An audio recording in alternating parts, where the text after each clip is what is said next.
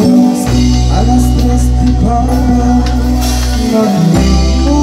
saber Mira ya